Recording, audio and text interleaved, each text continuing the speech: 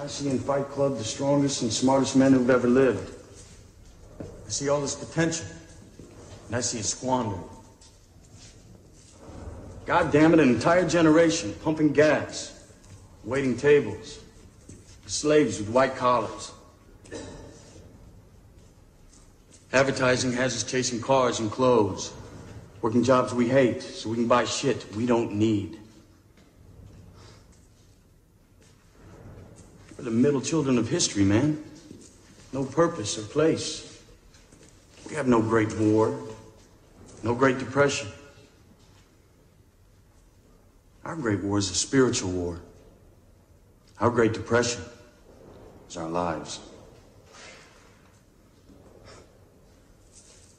We've all been raised on television to believe that one day we'd all be millionaires and movie gods and rock stars, but we won't. We're slowly learning that fact. We're very, very pissed off.